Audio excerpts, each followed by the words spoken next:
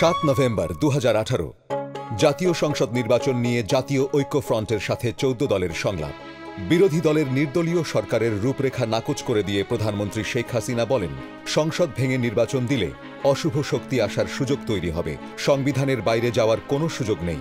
অনির্বাচিত কাউকে নির্বাচনকালীন সরকারে নেওয়া যাবে না।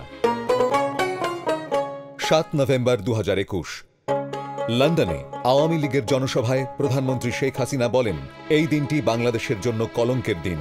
প্রকৃতপক্ষে সাত নভেম্বর, সৈনিক হত্যা দিবস।